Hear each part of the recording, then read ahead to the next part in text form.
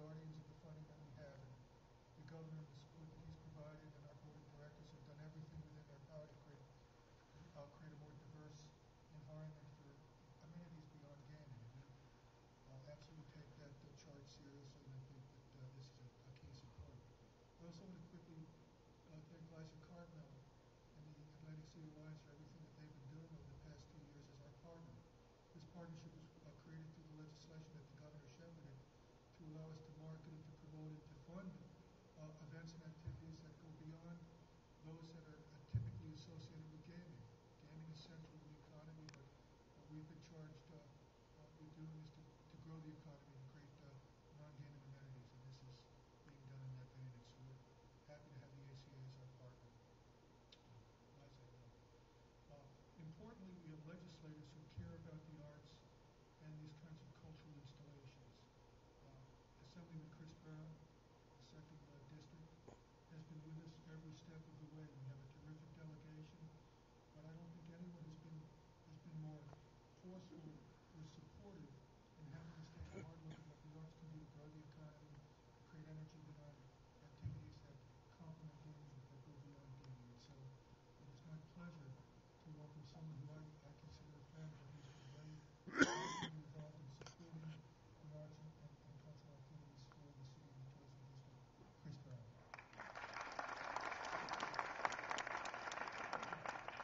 First of all, I want to welcome everyone. Of course, thank John for that nice introduction, all the work that he does. I want to congratulate uh, Phyllis. You know, it seemed funny to me that the Atlantic City Ballet is coming home to Atlantic City. It, it, it seems to me with that name, we, we should have all made sure that you stayed here and were part of our community. So thank you for your dedication. Thank you for your hard work. Uh, you know, there's a Japanese proverb that says, vision without action is a daydream. Action without vision is a nightmare. Today, thanks to the leadership of John Palmieri, the CRDA, Liza Cartmell, the ACA, Stockton, and on and on, thanks to their vision and the action of their boards and the action of Phyllis, we are taking a great step towards revitalizing Atlantic City and making the arts a true part of our culture and of what Atlantic City stands for.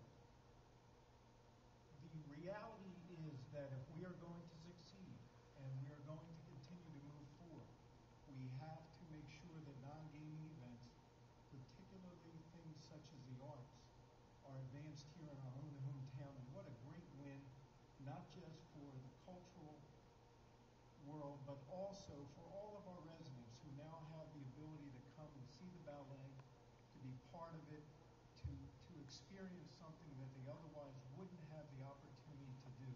So I want to thank all of you. I want to thank John for including me today. Thank you for your good work. Keep it up. Atlantic City is on the right track. We're moving forward. And, and I, I would say this, I, I say it often, and, and the last uh, thing I say so we can move on. But I see uh, Philadelphia News is here, and I want people to know if you want to go to a glorified bingo hall, you can go to our neighboring states. But if you want to come to a world-class resort, then you're coming to Atlantic City. So thank you very much. I wish you there.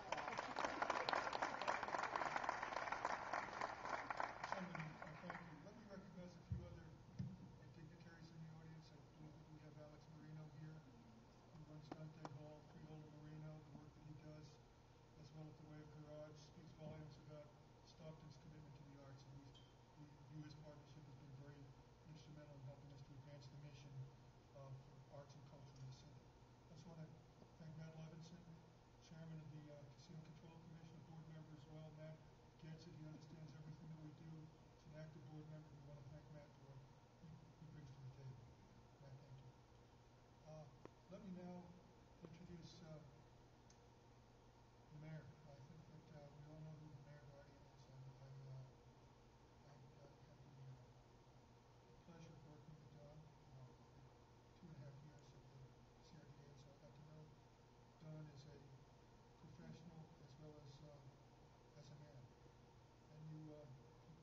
measure of the man that he, he worked with someone for a couple of years. So beyond what he brings to the table as a uh, longstanding city resident, someone who cares, cares about the community, who's, who's done exceptional work with the Special Improvement District as a, as a city official, uh, as a CDA official, now as the mayor.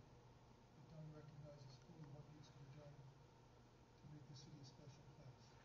This, uh, this was a destination, it remains a destination, and our responsibility is to really take it to the next step. And so the mayor gets it, he fully recognizes the challenges that lie ahead, and he doesn't take it seriously. He's a mature guy who exercises a lot of good judgment.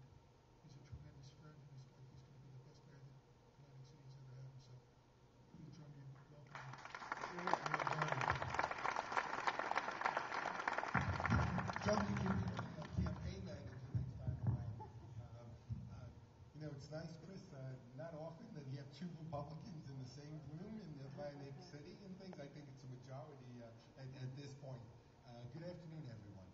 Um, I thought there was no more exciting time than this past uh, December when uh, the garage uh, opened up with the art galleries. I, every time I go back, I feel like I'm in Soho, not Atlantic City. It's just such a world-class operation, wonderful artists, and it's what a city needs to be. We want this city to be so much more than it is today, and we only get there by reaching out to people and giving them things that they don't have right now. Bringing ballet back to Atlantic City is just wonderful.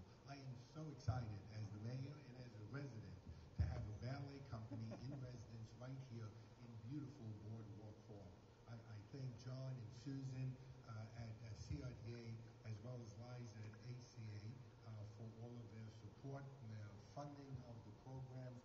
I know it will go a long way to expand the programs, the excitement that you have when you come into Atlantic City. So I love coming here for a hockey game. I'm going to love coming here for ballet, and I'm sure all of you will too. Thanks for coming this afternoon.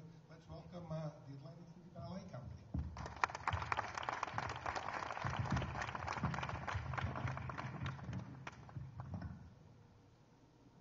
Hold on. I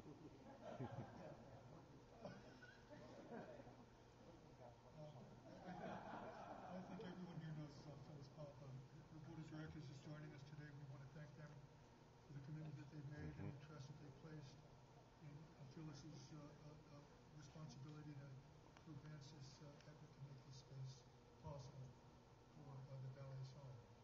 This will be the residence now for the Atlantic City Ballet. Phyllis is the founder of the ballet. She has an exceptional uh, history and one that I, I've been learning more and more about Phyllis. She began training at the Royal Ballet Academy. At 13, she became a charter member of the Princeton Regional Ballet Company. she was a principal da- uh, dancer for Harkness Youth uh, Ballet in New York City. Uh, she's danced at the White House. She's uh, she's danced with companies I think you'd recognize I do, uh, like the American Ballet Theatre, the Royal Danish Ballet. In 1999, she uh, founded ACBT uh, and uh, teaches at Stockton College and has had an amazing impact on ballet theater for the region and certainly for the city. We couldn't be more pleased to be welcoming her here, today. Come on and say a few words.